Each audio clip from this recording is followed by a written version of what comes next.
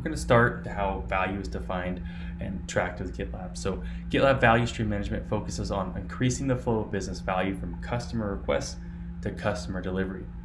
Its systemic approach is to measuring and improving flow, helps organizations shorten that time to market, increase their throughput, and improve product quality and optimize for business outcomes uh, while only needing one single application. So we start with value stream analytics, which is built into GitLab and provides the ability to measure that time spent to go from an idea to production for each of your projects and overall as an organization. So think that that parent group level or within a specific subgroup team. Value stream analytics displays the time spent in each stage, defined in the process. Uh, VSA is useful in order to quickly determine the velocity of, of a given team or product or project and it points to bottlenecks in the development process, which may help enable management to uncover, triage, and identify the root cause of slowdowns in the software development lifecycle. So uh, here we're viewing the live dashboard of the uh, GitLab's actual product value stream. We mentioned GitLab.org before, and this is the dashboard that allows us to use our own tool analytics to build a stronger GitLab product.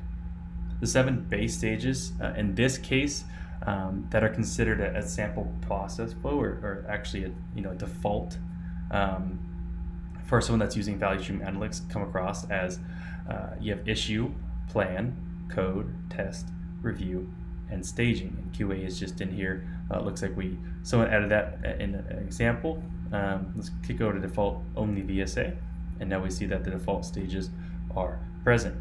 So tracking is built into GitLab and collecting and showing data from across the software development lifecycle. Uh, these stages come out of the box as the default stages uh, and they're free and don't require customization to get immediate value. In addition to these default stages, we do offer the ability to have extensive customization with those stages that are best suited for your organization. So what I mean by that, if we take a look at here, I can go in and I can click, I can click on plan stage. Uh, I'm gonna click over to this tab real quick and we already have a snapshot into what the plan team is doing. And uh, oh we don't actually have a snapshot. So now I'll click into it. Once it loads here now we have a, a snapshot into what the plan team's done. And they've gone in and they've customized uh, that flow to align to what they see fit uh, best fit for their uh, their organization their subgroup uh, within the greater gitlab.org and they have several different uh, stages here. Um, we can see that they have validation backlog, problem validation, design, solution validation, plan back down, and a couple more.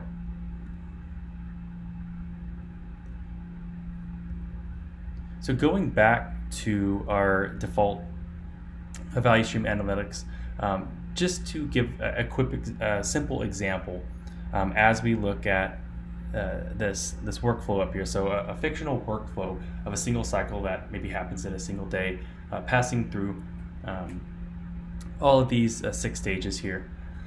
Uh, so if um, a stage doesn't have a start and a stop mark, it isn't measured, and hence it isn't calculated in the median time. So it's assumed that um, when milestones are created and CI for testing and setting environments is configured.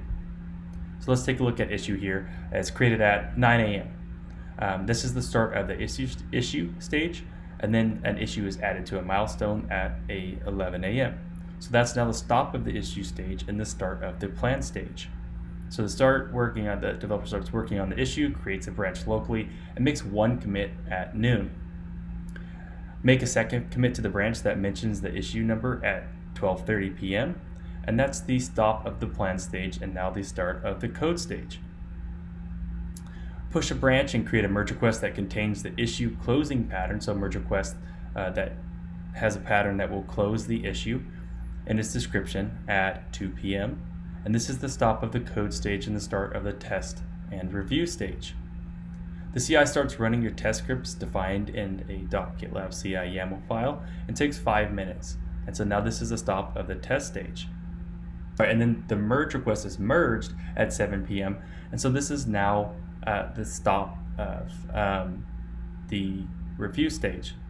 Next, the merge request is merged um, and a deployment to the production environment starts and finishes at 7.30 p.m. So this is now the stop of the staging uh, stage. So from the previous example, we see that the time used for each stage is the issue uh, took two hours from 9 a.m. to 11 a.m. Plan took one hour from 11 a.m. to uh, 12 p.m. And then code took two hours from uh, 2 to 4 p.m. Testing only took five minutes. And then review took five hours from uh, 2 p.m. to 7 p.m. And then staging went from 7 p.m. to 7.30 p.m. as that uh, merge request was pushed into production.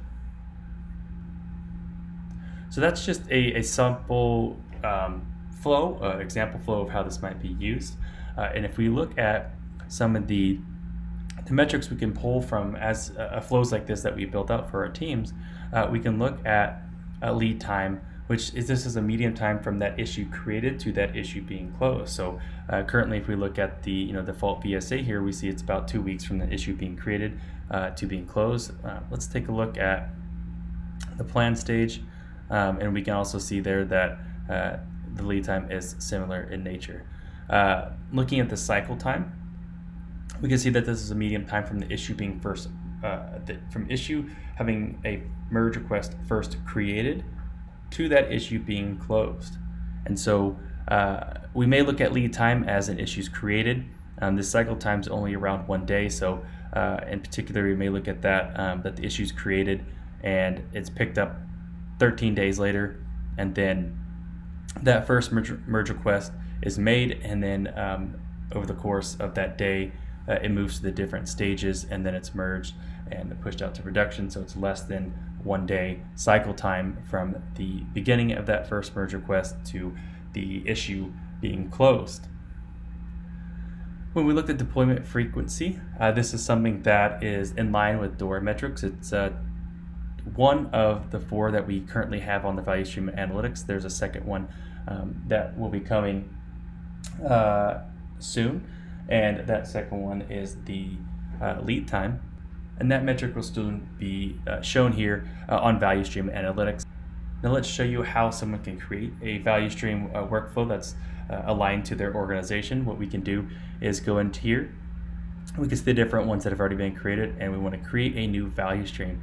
So GitLab gives you a couple options where you can create from a default template. So we want to say test default. Ooh. We have this here, and then you can see there's different stages that, that have the defaults that we just went through earlier. Um, what I do is I have the ability, okay, maybe I don't like um, stage two. I can hide that, and that disappears.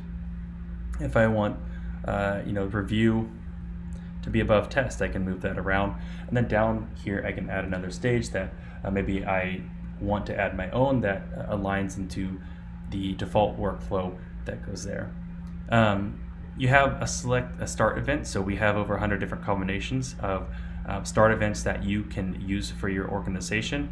Um, by choosing uh, one of those that gives you an end event that aligns with that start event and this is adjusted depending on you know the different start events that you have and those will be closely aligned if we do not want to use the, the, the default uh, value stream, we can go create from no template. And this is where we can have uh, another um, stage that we create from scratch. Uh, maybe we don't need that guide from default. We already have in mind what we're going to use for our, or our, our organization. So we start creating stage one, um, stage two, stage three, and we can create from scratch using this choice. If we go look into, um, let's say in this case, we'll go over here to what the plan team's done, we can edit that. Um, we can see different uh, start event labels that have been organized based on their start events. So the plan team has gone in and they've they've uh, agreed upon naming conventions for labels of how they organize. Maybe they're using these on their issue boards to have visibility into um, where that uh, that issue is on the on their uh, as part of their sprint. Um, and so here we have different event labels that is being organized uh, based on stages. And so you have that choice once you've built out the naming conventions of labels that your organization's agreed upon. You can do that using uh, these uh, start event labels to organize your stages. If we dive into these different stages here, where I want to look at something specific, so maybe Let's take a look at uh, solution validation. I click on solution validation, it's going to give me a running list of the issues that are uh, correlated uh, with solution validation. They're in that stage now. Um, and if I want to uh, take a look at, hey, what's what's been in this stage the longest amount of time, I can do that here. I can dive into that issue. Um, I can see that, um, you know, here's a description. This is the issue's been built out, and then there's been some collaboration that's been happening around it, and I can read into that if I want to see where are they at. Maybe they're stuck somewhere, or what decision hasn't been made. Um, you can see that there's a lot of uh, coordination around um, setting the appropriate labels. They have uh, the milestone, the next release 14.2 that's expected, and I can go in and if any problems solving needs to be happen, I can do so there. If not, I can just understand better why it's taken uh, three days to, uh, it's the, the amount of time spent, it's been 13 days in this particular stage. Going back to the overview view, um, I also have a couple different things that, uh, a couple different graphs that I can see here, days to completion. So this is the average time spent uh, in the selected stage for the items uh, that were completed on each date, limited to the last 50, uh, 500 items. I can organize this by stages. If I only want to see a particular stage, I can do so here, or a group of particular stages, I can do that.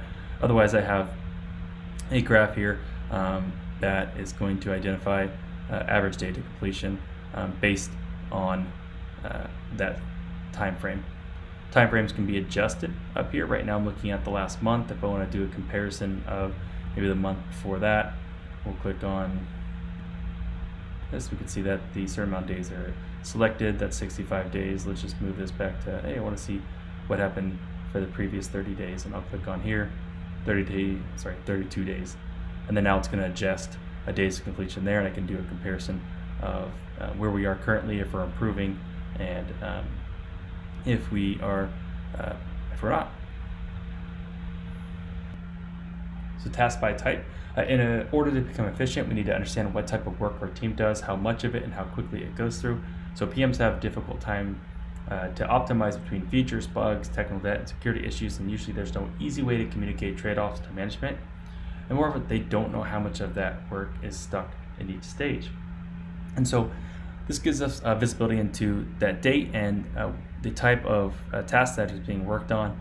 Uh, maybe it is a, a back-end issue or a QA issue. I can have visibility into uh, the quantity and frequency uh, based on that day and how many are in progress on that current day and gives me kind of a trend graph over time to understand those different um, specific uh, labels that associate with, with uh, however we decided to organize our group.